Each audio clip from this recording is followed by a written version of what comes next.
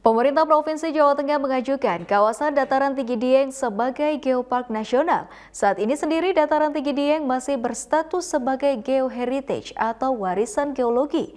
Maka dari itu upaya pengembangannya sebagai geopark nasional terus dilakukan.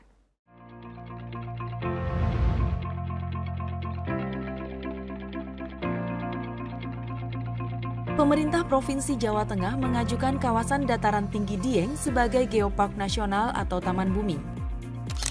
Taman bumi dikelola untuk keperluan konservasi, edukasi, dan pembangunan perekonomian secara berkelanjutan dengan melibatkan masyarakat dan pemerintah daerah. Upaya ini diharapkan mampu menumbuhkan kepedulian masyarakat terhadap bumi dan lingkungan.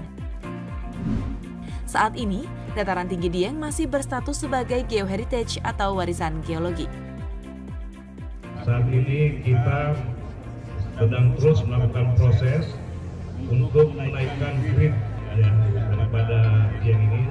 Dan insya Allah dalam waktu dekat uh, akan naik menjadi geopark yang tingkatannya nasional. Karena dataran tinggi Dieng ini merupakan salah satu tempat wisata.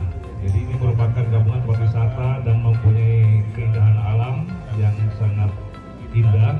Kemudian juga di sinilah tempat uh, pertanian dan mungkin ya dengan bersama yang baik untuk pemprov Jawa Tengah dengan instansi terkait dengan para stakeholder